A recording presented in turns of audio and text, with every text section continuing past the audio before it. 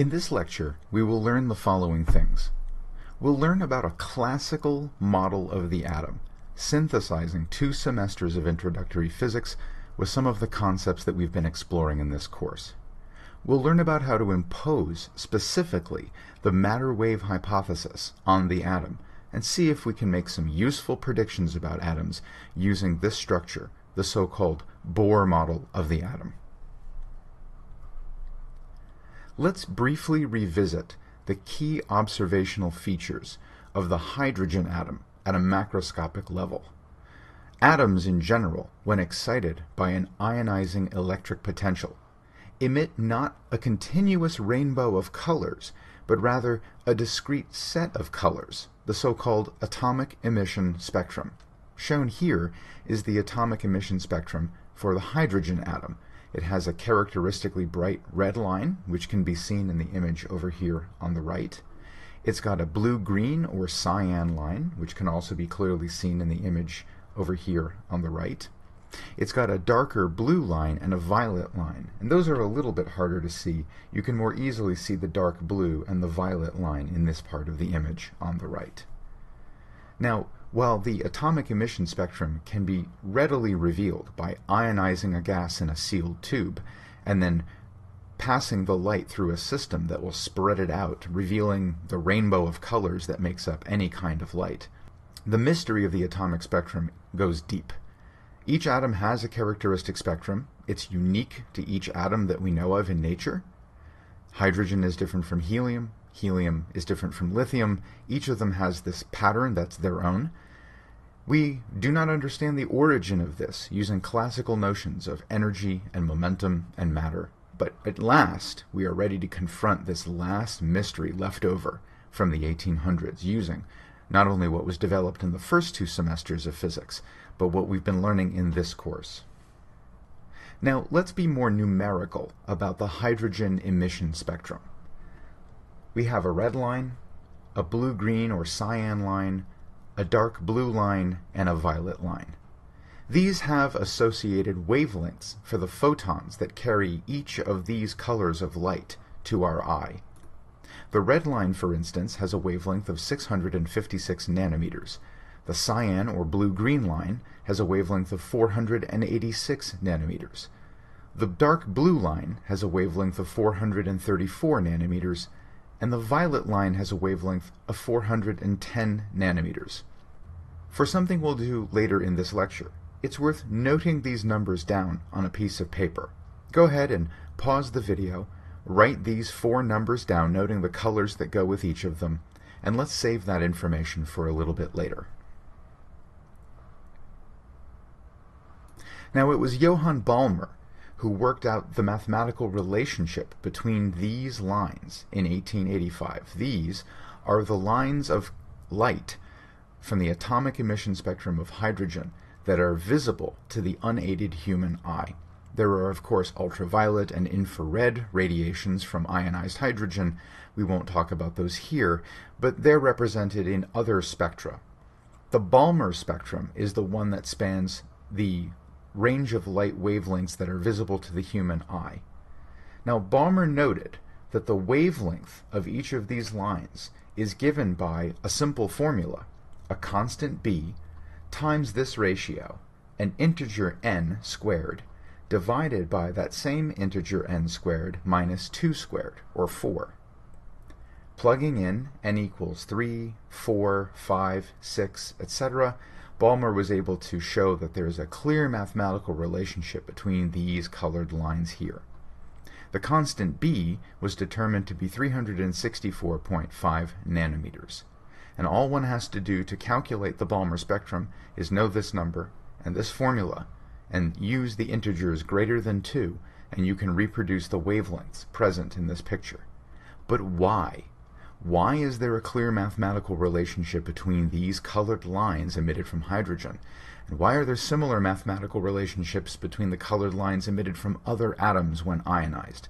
These are deep questions, mysteries left over from the 1800s, that physics in its day could not explain.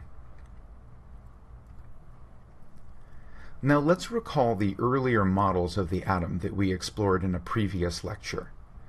Joseph John, or J.J. Thomson, after discovering that cathode rays were really just electrons uh, and had masses that were far smaller than the lightest known element at the time, hydrogen, constructed his Thomson model of the atom, imagining that the electrons with their negative electric charges were embedded in a larger swath of positive charge spread out in space.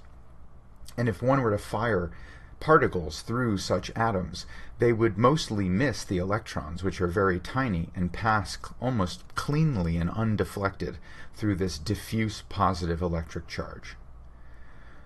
Ernest Rutherford and his colleagues, however, revealed by scattering alpha particles off of thin metal foils that in fact sometimes the alpha particles would bounce almost directly back at the apparatus that had fired them at the metal in the first place.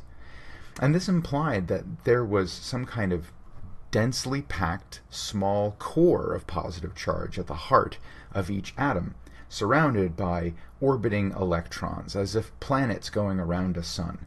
This model helped explain why, while many of the alpha particles would pass through the thin foil relatively undeflected, occasionally one of them would suffer a collision with this densely packed, positively charged nucleus of the atom and suffer an immensely disruptive collision, some of which could send the, uh, the alpha particles coming almost straight back at the source from which they had been emitted.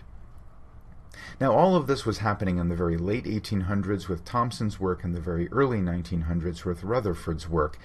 And as you'll see, as we learned more about the atom, as people thought more deeply about the implication of Max Planck's adoption of the quantization of energy to explain the black body problem, and Albert Einstein's adoption of that same notion to explain the photoelectric effect, models of the atom changed rapidly in response to these ideas.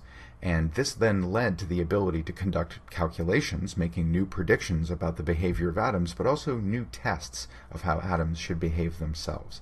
This was a dynamic period in physics, transitioning from the classical era of the previous three centuries into now the modern era that we would still be living in the after effects of today.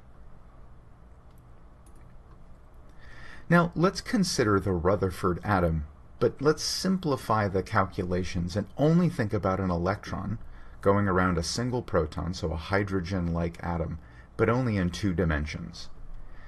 The electron is bound to the proton in a circular orbit by the Coulomb force, in the same way that the Earth would be bound to the Sun by the gravitational force in our solar system. So the electron would be orbiting the proton. The proton would be the central force emitter in this problem. The electron would be responding to that force, the electric force, the Coulomb force in this case. So that force would be given here by this formula. The Coulomb force exerted on the electron by the proton would be given by a constant, 1 over 4 pi times epsilon naught, and I'll come back to that in a bit. But basically, this is the permittivity of free space, epsilon naught. It has something to do with how electric fields can propagate through empty space. Uh, the product of the charges of the electron, which is negative, the fundamental electric charge, and the proton, which is positive, the fundamental electric charge, and that divided by the distance squared between the electron and the proton. Now this r would be the orbital radius of this circular orbit. Now I want to note here that this unit vector r hat carries all the directional information of this force. Now by convention, r hat points from the source of the force, the proton, to the recipient of the force, the electron. It is the sign of the electron's negative electric charge that ultimately flips the direction of that vector and has the force pointing back toward the proton, that is, making it an attractive force. Now, according to Newton's second law, digging back to our first semester introductory physics, the sum of all forces on the electron will be simply summarized by its mass times its net acceleration. Well, what acceleration is this electron experiencing as it orbits the proton? The answer is a centripetal acceleration. This ultimately is a center-seeking force, which results in a center-seeking acceleration, changing constantly the direction of the electron's velocity vector. So that means that the, uh, the acceleration, the net acceleration of this electron, has a well-defined form. It's given by v squared over r in magnitude, and its direction, center-seeking, will point to the center of the circular motion, which again is in the direction of negative r hat, that is, from the electron to the proton, whereas r hat is defined as being from the proton to the electron. So we have all the pieces we need to build a Rutherford model of the atom in two dimensions, using these ideas of a centrally compact positive charged nucleus and orbiting electrons. So let's go ahead and do that. We can set the sum of the forces, which is just the Coulomb force, equal to the mass times the centripetal acceleration. Now note that there is a negative r hat on the left side, negative r hat, negative r hat on the right side, negative r hat drops out of this entire equation, and we're left with just this equation. 1 over 4 pi epsilon naught times e squared over r is equal to the mass of the electron times the velocity of the electron all squared. Now I'm leaving it in this funny form because this almost instantly lets us write down the classical kinetic energy of this electron, that is 1 half mv squared. If I just multiply this equation by 1 half, I immediately get the kinetic energy of this electron going in orbit around the central proton. 1 half times 1 over 4 pi epsilon naught times e squared over r. Now, I'm going to leave this equation unsimplified. I'm going to leave this 1 half sitting out in front to ease the next step, and that is computing the total energy of this electron. You can go ahead and multiply this out if you want to, but uh, it's convenient for what's going to happen next to just leave it out that way to remind us that uh, doing math with this thing is going to be relatively straightforward. So let me rewrite the kinetic energy of the electron here at the top of the slide. Now the total energy is the sum of its potential and kinetic energies for that electron at a given orbital radius r. That is to say, the total energy of the electron is just its kinetic energy plus its potential energy. Well, the only force present is the Coulomb force, and so that means it has an electric potential energy. And that electric potential energy for the electron, UE, will be given by its charge, negative E, times the electric potential of the proton, V with a subscript P. Well, the electric potential of the proton is just going to be given by 1 over 4 pi epsilon naught times the charge of the proton divided by the distance between them. So we wind up with this equation for the electric potential energy of the electron. 1 over 4 pi epsilon naught times negative E squared over R. And that allows us to then write the total energy E as follows. It's just our kinetic energy plus the potential energy, which is a negative number. And you see why I left the 1 half here. It was convenient because uh, I have 1 half times a common multiplicative thing here, and just subtracting off that common multiplicative thing here. And so ultimately, at the end of the day, I get a negative number for the total energy of the electron, and that's okay. It, it just means that the uh, potential energy of this particular electron outmatches its kinetic energy for this particular orbital radius, r. So this is the final expression that I get for the total classical energy of a 2D Rutherford atom. That is, just considering the electron going around a stationary proton in the center. Let's write that equation down we're going to pull it up later. We're going to need it again for something that happens later in this lecture. But this is about as far as I'm going to go with this for the time being. Now, how do we get modern concepts like the fact that the electron is actually a wave and not a point-like particle into this thing? Well, we see the problem already with the Rutherford model. It's not going to explain the hydrogen emission spectrum, right? Because in the Rutherford model, any orbital radius r is allowed. You can put any r in there and you'll get an E out. Now, because any total energy is allowed for the electron, this cannot explain the discrete energy spectrum of electrons in a hydrogen atom. We already have a sense that quantization of some sort must be present in the atom, right? This is the atomic emission spectrum it bears the fingerprints of a constrained system with only specifically allowed energies determined by those constraints. Now, the de Broglie postulates enter to provide the crucial missing thing, the clue, that will help us to understand this whole problem. This is the key step that ultimately leads to quantization. So, for example, we know that the momentum of an electron matter wave is given by Planck's constant divided by the wavelength of that matter wave. We can relate the particle-like properties, momentum, to the wave-like properties, wavelength, using the de Broglie postulate. Now, classically, and because we're doing things at low velocity, we'll revisit this as a consequence of these choices later, but we're going to start off thinking classically. We can write the momentum in terms of its speed, and that's just going to be the mass of the electron times its velocity, or in this case, the magnitude of its velocity at speed, thinking purely classically. So the question we want to answer is, is every wavelength of the electron possible for our electron? If it is, then every momentum is allowed in the atom. And we're right back where we started again. If every momentum is allowed, every speed is allowed. And if every speed is allowed, every radius is allowed. This has consequences in a system where there are relationships between things like speed and orbital radius, speed and momentum, and momentum and wavelength. But maybe that's the flaw. Maybe the problem here is that not every wavelength for a matter wave for our electron orbiting this central proton is actually allowed.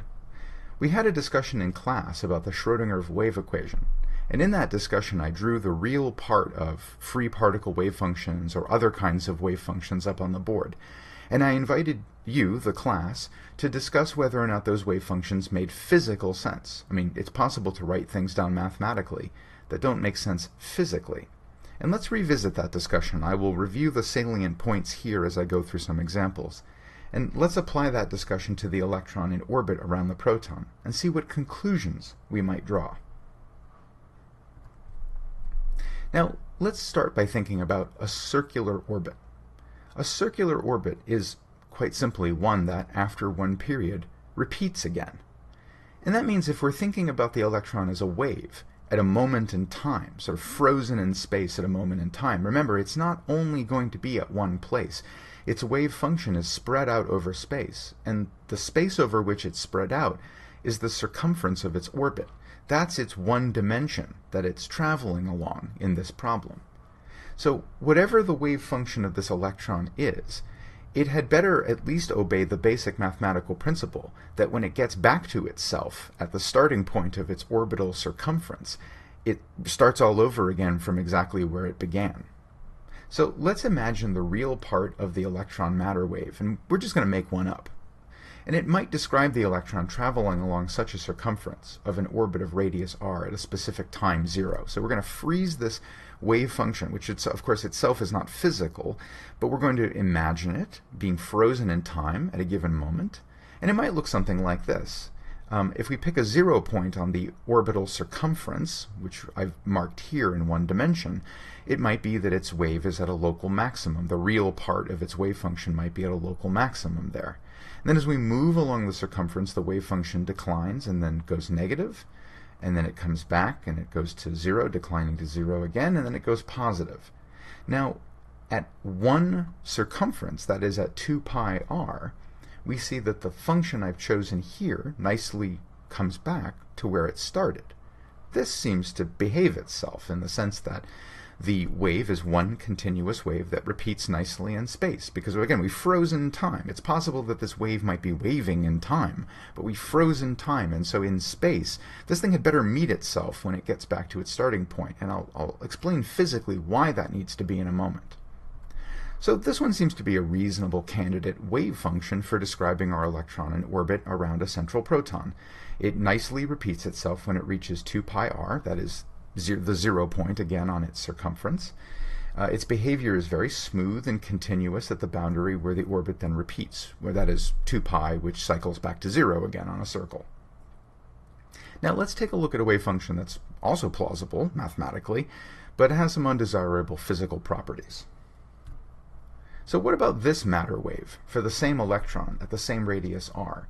We've frozen it in time, it's a perfectly reasonable wave function, right? It's got one wavelength here. It looks wavy. Is this a good physical wave function for describing the electron? Well, if we look at 2 pi r, we see that where the wave function ends up when it gets back to its beginning again is not where it started. Now, that doesn't per se have any mathematical negative consequences. I mean, this is a perfectly allowed function. I can write it down. Uh, it has something called a jump discontinuity. When it gets back to its start, it jumps from this value right before 2 pi r back to its uh, starting value at 2 pi r.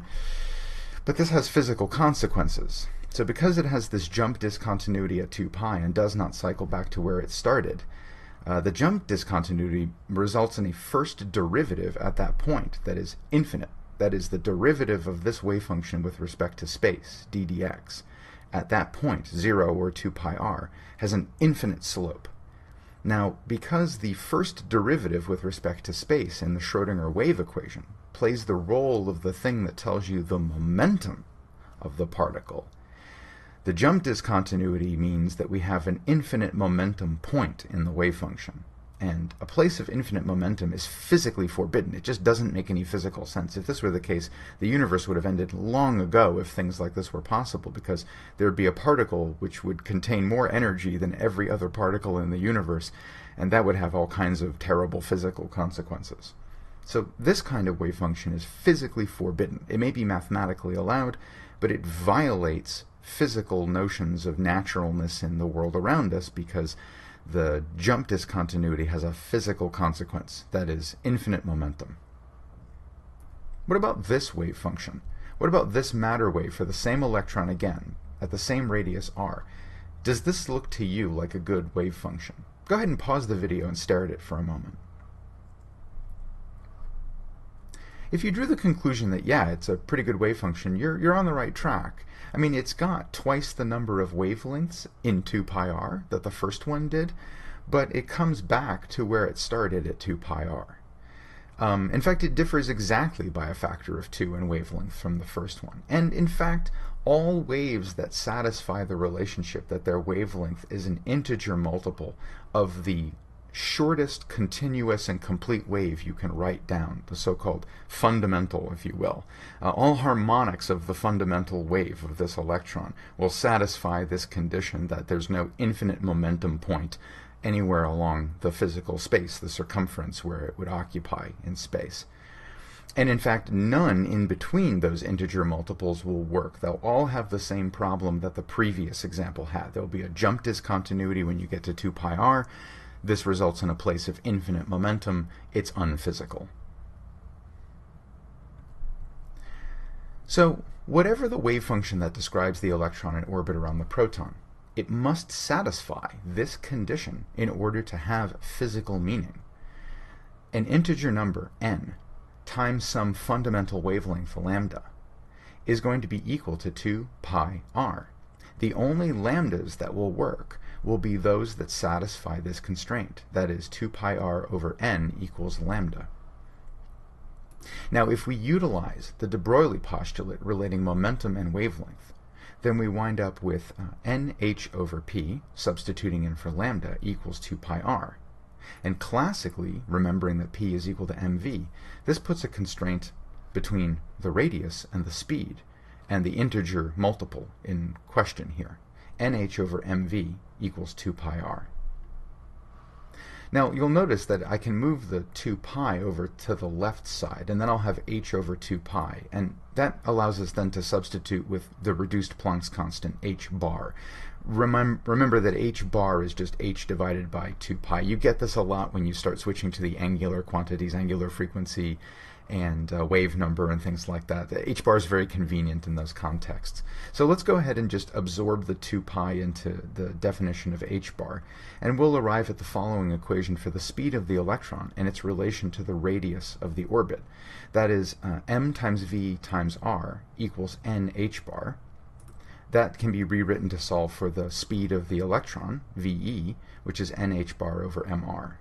And in preparation for relating this back to energy concepts, I'm going to go ahead and square VE, so I get VE squared, which is just this thing on the right-hand side here. So from the matter wave hypothesis, I have a relationship between V, an integer multiple of the fundamental wavelength, and the radius of the orbit that determined that wavelength in the first place. Now, V and R also appear in things like kinetic energy, so you can already see that we have a new constraint to throw into energy equations that will lead us to perhaps some final understanding of why it is that the atomic spectrum is discretized. Now before we do that, I want to talk a little bit about Niels Bohr's actual postulate. It's worth noting that the way that Bohr attacked this problem was to postulate that there was a quantization of angular momentum in the atom. That is, the electron was quantized in its orbit around the proton. Uh, now, he did this in 1913, and this was about 11 years prior to de Broglie's work, which was in 1924. So Bohr asserted, having, I guess, seen that quantization worked in other problems to explain things that had previously gone unexplained, he asserted that since h and h bar, the reduced Planck's constant, have units of angular momentum, that is, joules times seconds, it might be in an atom that the angular momentum L is a multiple, an integer multiple of h bar, that those would be the only kinds of angular momenta that would be allowed in an orbital system like a 2D Rutherford atom. So the angular momentum of the electron can only come in multiples of h bar, and for a circular orbit we can relate the uh, constraint and h bar directly to the angular momentum of a particle going in a circle, and that's just p times r, which classically is mvr. And so this leads to the equation mvr equals nh bar from Bohr's assertion. Now, later on, de Broglie would explain the reason why this works, and that's based on what we just saw on the previous slide. That is, if there's a constraint on the, the structure of the electron wave function, requiring that the uh, radius, the circumference of the orbit be related to integer multiples of a fundamental wavelength of the electron, then if you go back to the previous sl slides, or go back in the lecture video, you'll see that this exact same condition resulted from the matter wave consideration. So this points to the fact that uh, in 1913, when Bohr made this assertion, this is quite a bold assertion, really born out of the success of the ideas of quantization in the previous uh, decade or so, uh, based on Planck's work and Einstein's work and so forth. Um, this was Bohr being very intellectually bold, and it paid off because, as you'll see, this model works extremely well.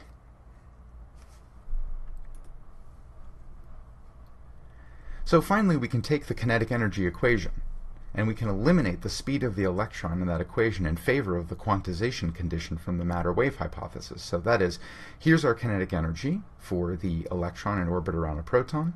That can be related to the generic kinetic energy, 1 half mv squared. But we have an expression for v squared from the quantization condition from the matter-wave hypothesis, and that was determined earlier to be this. So if we substitute that into the equation, we find out that the kinetic energy from Coulomb's law is equal to this kinetic energy expression taking into account the quantization of the wave function of the electron, that only certain wave shapes will be allowed for a given orbital radius r. And some algebra will finally lead you to this expression for the allowed radii of an atom. It's actually quite remarkable. The allowed orbital radius in this 2D model is simply given by the product of an integer 1, 2, 3, 4, etc. squared, that's n, times a product of a bunch of fundamental constants of nature. Notice there are no variables left. You have the numbers 4 and pi, you have the constant of nature, the permittivity of free space, epsilon naught, whose value is given here, 8.85 times 10 to the minus 12 farads per meter. You have the fundamental constant Planck's constant, uh, the reduced version, squared. And a reminder that h bar is 1.05 times 10 to the minus 34 joule seconds. You have the mass of the electron, 9.11 times 10 to the minus 31 kilograms, and the fundamental electric charge, 1.602 times 10 to the negative 19 coulombs. The only thing that can vary in here is n, and n is fixed to be an integer, 1, 2, 3, 4, 5, etc. So the radius of the orbit in our hydrogen-like atom is simply given by an integer squared times a number. So what is that number? Well, if we stick in n equals 1 and solve, we arrive at what is known as the Bohr radius. It's the smallest orbit allowed in the hydrogen atom because of the imposition of the matter-wave hypothesis, or Bohr's angular momentum quantization condition, which turn out to be equivalent. The Bohr radius is just this thing here. And if you calculate it out, it's about half an angstrom, 5.3 times 10 to the minus 11 meters, which is to say that the smallest a hydrogen atom can ever be with its one electron and its one proton is, is about one angstrom across. And as we saw from earlier discussions in the lectures in this course, an angstrom is roughly the size scale of an atom. and that's no accident. It's imposed by the matter wave nature of the electron. So we find in this model of the hydrogen atom, based on a classical definition of kinetic energy and momentum, but with matter wave quantization imposed, we suddenly find that only a fundamental orbit and its harmonics, are multiples of that orbit, are allowed. And this begins to look a lot more like the atom that gives rise to a quantized atomic spectrum. But the question is, can we see that spectrum arise from this model? Well, to answer this question, let's again consider the total classical energy of an electron orbiting a proton at radius r, but again impose the condition that n times lambda, the matter wavelength of the electron, equals 2 pi r. That led to our writing of the Bohr radius and then all the allowed radii of our hydrogen atom, n squared times the Bohr radius. So we have the total classical energy of this electron. I'm just repeating the expression we wrote earlier. And then I'm plugging in with the expression for r, n squared a naught, and putting in the full definition of, of a naught here, the Bohr radius. So you wind up, if you play around with it a little bit, getting an equation that looks like this. You get uh, negative, uh, a bunch of numbers and constants, times 1 over n squared. That factor in front of 1 over n squared is negative 2.19 times 10 to the negative 18 joules, if you go ahead and punch in all the numbers here and calculate it. In electron volts, this is a much more familiar number. This is the famous negative 13.6 electron volts. That is the energy of the electron in the hydrogen atom in its lowest orbit. And of course, this also turns out to be the energy required to fully ionize an electron out of its parent hydrogen atom. If you want to free that electron completely, get it away from its proton, from hydrogen, and put it out at infinity, you have to put in 13.6 electron volts to liberate it. So the energy of an allowed orbit of integer n, corresponding to radius r equals n squared times the Bohr radius, is given by this simple equation, that the energy of that orbit, that specific orbit, is negative 13.6 eV times 1 over n squared, where n is 1, 2, 3, 4, etc., any integer. This is a remarkable fact. Just by imposing the matter wave hypothesis on this and requiring that the wave functions be well behaved when thinking about the wave function spread over the circumference of a circular orbit, we've immediately arrived at a quantization condition for our model of the hydrogen atom. But how good is this model? In order to understand how the Bohr model of the atom will give us the kinds of quantized energy spectra that would result in specific wavelengths of light being emitted by an excited atom, Let's step back and take a look at the Bohr model for a moment schematically. The picture on the left illustrates the classical drawing of what the Bohr model of the atom would look like. It's very similar to the picture that I sketched earlier with a single electron orbiting a single proton. Here, the smallest gray circle corresponds to the n equals 1 orbit, the, the smallest orbit that an electron can have around the proton at the center of the hydrogen atom and that corresponds to the Bohr radius. The n equals 2 orbit is a multiple of 2 squared, or 4, times the Bohr radius. And similarly, the n equals 3 orbit is going to be a multiple of 3 squared, or 9 times the Bohr radius. Electrons can only orbit at these allowed radii, going in a circle around the central single proton. That means that if an electron is struck by, for instance, electromagnetic radiation, a photon, it could be caused to jump into a larger orbit if the electron possesses of sufficient energy to give the energy to the electron needed to transition from one orbit to the next. So for instance, we might imagine that the electron started in the n equals 1 orbit of the hydrogen atom, was struck by a photon of sufficient energy and was able to transition to the n equals 2 orbit of the atom. Maybe this resulted in a complete loss, a total absorption of the photon that struck it, or maybe the photon was scattered, losing energy and changing its wavelength, gaining uh, a wavelength in the process, becoming longer in wavelength. Now, the image here shows the opposite of that process. An electron starts in, for instance, the n equals 3 orbit, and then spontaneously falls down to the n equals 2, 2 orbit. But because conservation of energy has to hold, the energy difference between the n equals 3 orbit and the n equals 2 orbit must go someplace, and in this case it would result in the emission of a photon. So, because the atom conserves energy, in order to go to a wider orbit, it must absorb the energy from someplace. A photon with the right frequency and wavelength can do that. To drop down to a lower orbit, that is one characterized by a smaller integer n, it must release energy, emitting a photon of a specific wavelength and frequency will do that too. So let's consider a transition that releases a photon, emits a photon in the process, from an orbit that's marked by an integer n greater than m, the orbit into which it falls. So n is some integer, m is some integer, and n is greater than m.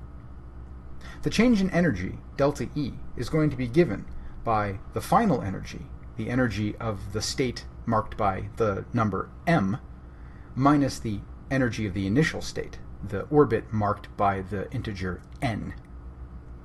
Well, if we plug in the formulae for the energy of any specific orbit in a hydrogen atom, that's going to give us an overall multiplicative factor of negative 13.6 electron volts. And that's going to be multiplied by the difference between two fractions, 1 over m squared minus 1 over n squared. So, for example, for the transition from the n equals 2 orbit to the n equals 1 orbit, or n equals 2, m equals 1, we find that delta E is E1 minus E2, and that's going to be given by 10.2 electron volts. Go ahead and work that out yourself for practice, but you should find that that energy is 10.2 electron volts. But this energy must go somewhere, and so this lost energy from the electron would go into the creation of a photon that then is emitted during the process. And that photon will have an energy given by h bar omega, the product of the reduced Planck's constant and its angular frequency. So let's think about the photon wavelengths from electron transitions in hydrogen. Using this energy conservation idea, combined with the relationship between the frequency, wavelength, and energy of a photon, we can then calculate the expected wavelengths of photons emitted from an ionized Bohr atom. So an atom where, for instance, an electron starts out at infinity and comes down into uh, one of the, the low orbits, or maybe starts just above and drops down to a slightly lower orbit. Now recall that the Balmer series, the visible wavelengths of light emitted in the atomic emission spectrum of hydrogen, involved an empirical relationship between wavelengths of emitted light from hydrogen given by the following formula where the integer n ranges between 3, 4, 5, 6, and up. And this integer here is fixed at 2. Well, this looks a lot like the kind of relationship you might derive from the Bohr model of the atom in the transition between, uh, say, n equals 3 and n equals 2 state.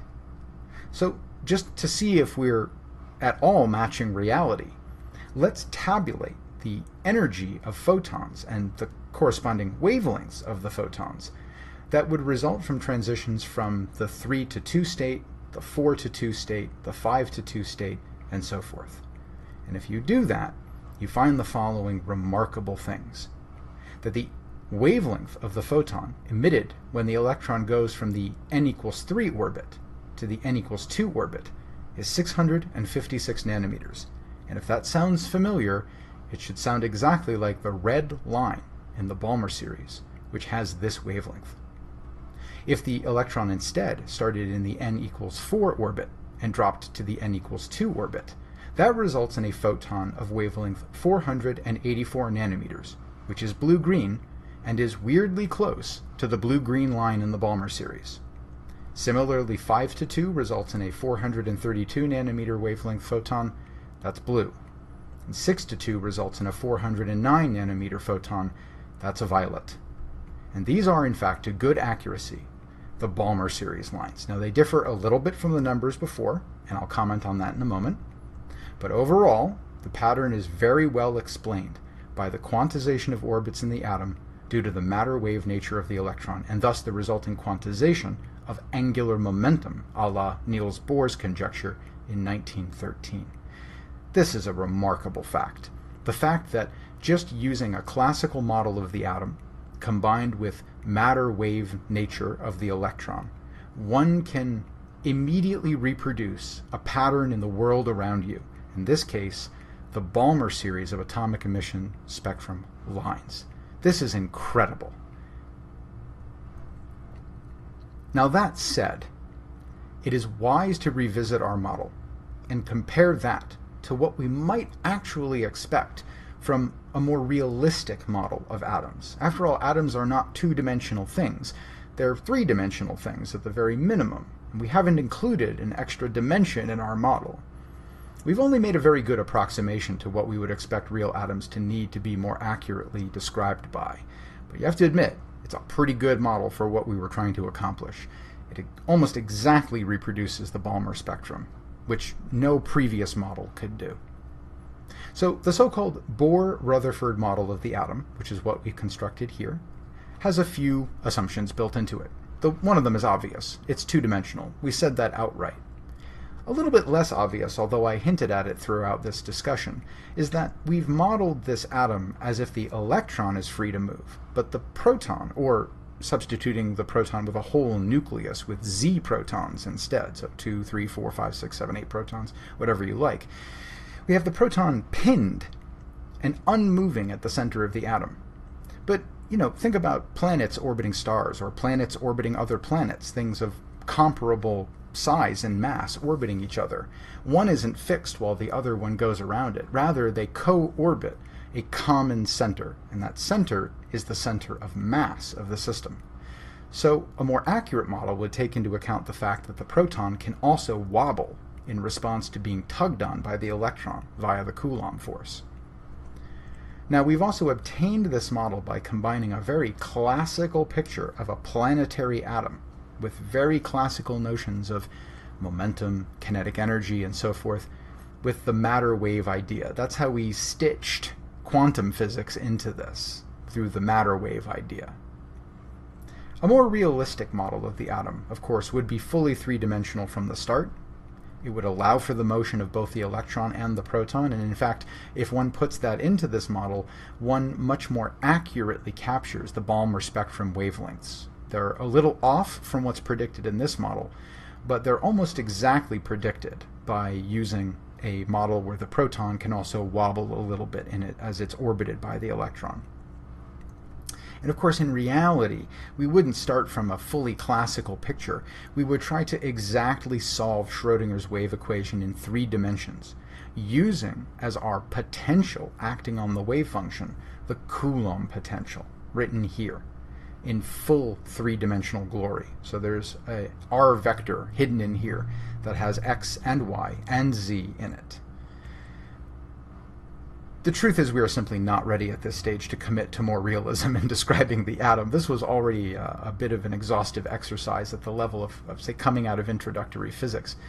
But I promise you that through the rest of this course, we are going to build up a toolkit that would allow you to attack this problem in a later semester starting from the principles outlined in this course. So let's review. In this lecture, we have learned the following things. We've learned about a way to develop a classical model of the atom from classical energy and force considerations. We've done so in two dimensions. We've then imposed quantum physics on this by sticking the matter wave hypothesis into the atom via the electron, thinking about what wavelengths would be allowed for an orbit of a given radius r, and then imposing that condition on the energy conservation that is derived from the classical model built in the first step. This has allowed us to make predictions about the behavior of a hydrogen like atom in this model, and we found that it matches remarkably well with observational evidence. This is certainly a far more accurate description of nature than anything that has come before. And this is the Bohr model of the atom, which is a building block to a much larger picture of quantum physics, the physics of the smallest things in the universe.